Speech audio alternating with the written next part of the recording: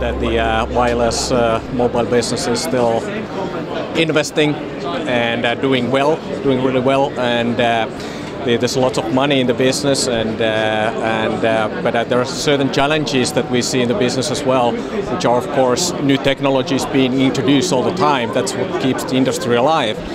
Uh, operators are, are, deploying new technologies into their networks, and, uh, and mobile manufacturers are deploying new technologies into their devices. But then it's the applications that matter to the uh, consumers. So we see lots of new technologies, new applications coming into the play,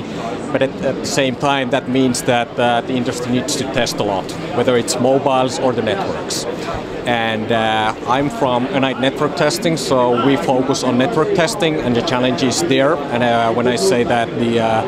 the, uh, the testing needs are are increasing all the time, we try to address the uh, the, the, the pains of actually the costs of doing more and more testing all the time. So what we try to do with our network testing solutions is to streamline our customers, operators, uh, testing processes, to uh, providing solutions that save them money and uh, make the testing easier for them, more cost efficient for them. That's why we have introduced uh, new solutions called Nemo Cloud and, uh, and Nemo Autonomous, which basically uh, uh, really target the cost saving and operating expenditure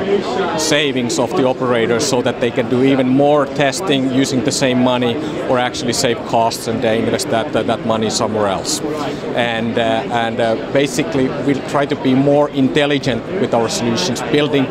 more intelligence, more cloud-based solutions, uh, uh, so that the, uh, the they can really do more Uh, in-house uh, in their offices rather than spending a lot of manpower in the field doing the manual collection of, uh, of, of, of testing.